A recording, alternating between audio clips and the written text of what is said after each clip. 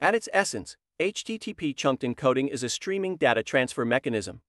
But what sets it apart is its approach to managing data flow. Chunked encoding breaks down data into non overlapping segments, called chunks, instead of sending the complete dataset at once. These self contained units are sent independently, enabling a continuous data flow without the need to determine the entire size beforehand. This approach is especially useful when the total response size is unknown or cannot be predetermined.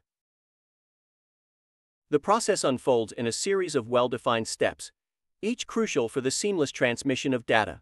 Initiating the transfer. When a server prepares to send data to a client, it often cannot determine the total size of the response in advance. Sending data in chunks. To indicate that the data is being sent in chunks, the server includes transfer encoding, marking the end of data.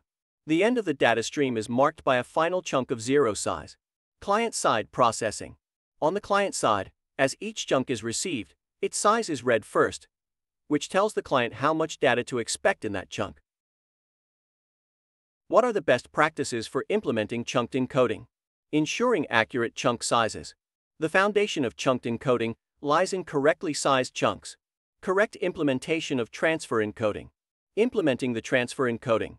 Chunked header correctly is fundamental. Thorough testing across different chunk sizes. Rigorous testing is essential, especially in scenarios where various sizes of chunks are transmitted. Handling chunked encoding correctly to prevent errors. Proper handling of chunked encoding, both on the server and client sides, is vital to prevent errors.